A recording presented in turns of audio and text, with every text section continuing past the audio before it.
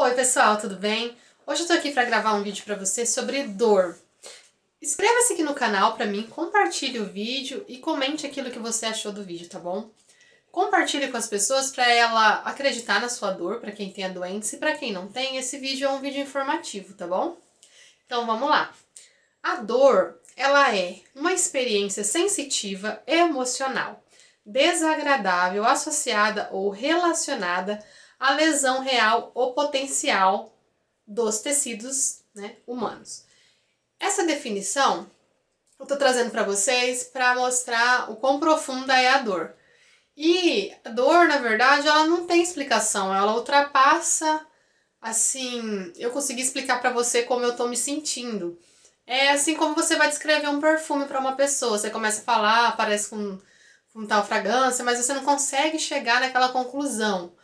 É, a dor ela é subjetiva, mas tem essa definição, né, científica.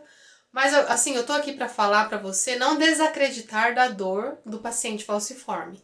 O foco principal desse vídeo é isso. Além da dor, junto com ela vem o medo, a fragilidade.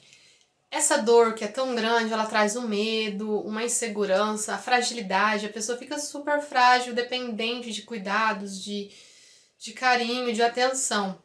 Traz uma fragilidade emocional muito grande, do ser como um todo, não só física, principalmente emocional. A pessoa ela se sente muito incapaz, muito para baixo mesmo, muito num sentimento assim de depressão, né, emocional naquele momento da dor. E para que isso passe, ela precisa das pessoas ao seu redor e da fé dela para que ela se restabeleça o quanto antes.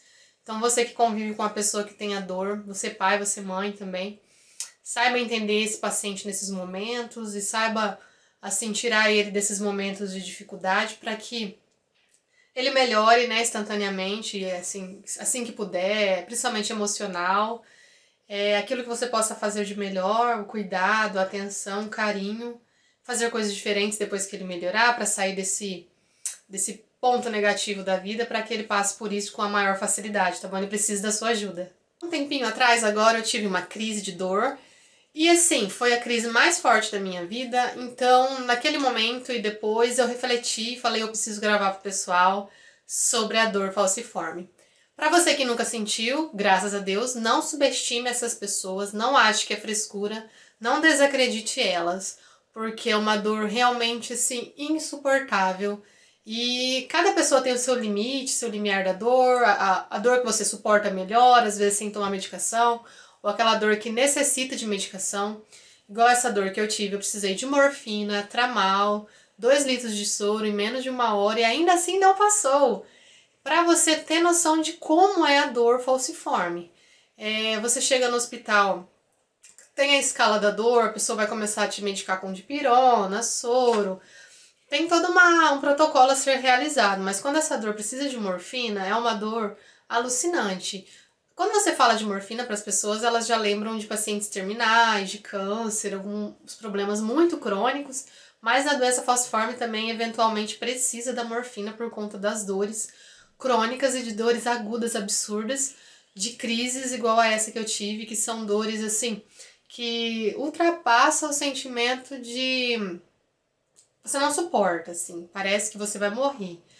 É, o meu relato é esse, assim, que eu senti de dor nas duas pernas, nos braços. Eu não conseguia controlar meus movimentos, ficou involuntário a tremedeira, o desespero, a falta de ar. Assim, o medo, que é muito grande e é uma dor que parece que você tá se quebrando toda por dentro, tá arrebentando tudo. É difícil respirar, é difícil parar quieta, você não consegue. Então, para quem não conhece, não subestime, é uma dor muitíssimo forte, uma dor absurdamente dolorida, que você não consegue controlar em casa, não tem como. Ou pessoas que têm a dor crônica e precisam controlar em casa acontece também, sempre tem que estar tá tomando codeína, morfina, algum outro tipo de medicação nesse, nesse nível de, de, de medicação, né? Nessa gravidade. É uma dor assim que ultrapassa a explicação às vezes não passa, no meu caso, igual eu usei a morfina e ainda assim eu vim para casa com dor, para você ter noção de como somos fortes. Os pacientes falciformes são fortes, sintam-se fortes, porque às vezes aquela dor que eu vim para casa é uma dor que uma outra pessoa não suportaria, mas é uma dor que ainda estava aliviada, de tranquila, da forma que eu cheguei no hospital, que era uma dor astronômica, assim, é uma dor horrorosa. Que você toma morfina, toma tudo e não passa, só que ainda, ainda deixa aquele. A morfina ainda deixa aquele, aquela dorzinha que você consegue suportar.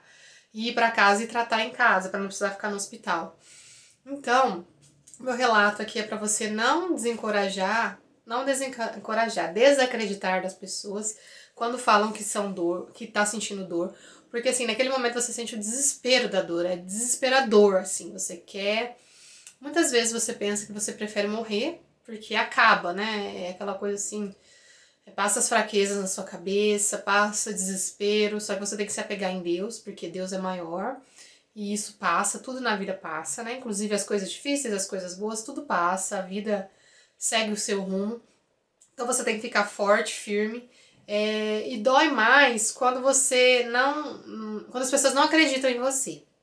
Dói mais. Porque você se sente sozinha no mundo, você se sente desacreditada, e aqui nós estamos juntos para conversar, para expor isso, para expor para a sociedade que realmente são dores absurdas, dores insuportáveis, que é preciso prevenir, é preciso que, preciso que acredite nessa dor, acredite nessa pessoa, é, acalente essa pessoa emocionalmente, fisicamente, é, da forma melhor que você puder, porque essa, esse cuidado ajuda você a suportar, ajuda a pessoa ficar mais esperançosa, respirar, ter mais força, ter vontade de passar por essa dor, porque em certos momentos é difícil resistir à dor e resistir a essas crises, resistir a essas dificuldades. Então foi um vídeo curto, eu espero que você compartilhe para que as pessoas que não conheçam conheçam um pouco de como é né, a vida e as crises e as dores da doença falciforme.